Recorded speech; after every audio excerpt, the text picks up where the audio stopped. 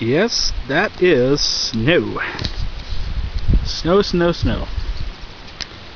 And yes, it is July 11th, 2012. So,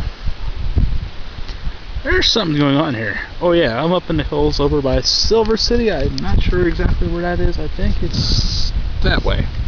Or it could be that way. Or that way. I think that way is Nampa. I could be wrong. Hopefully, I'm not holding this too close to my face. Rip. Bye.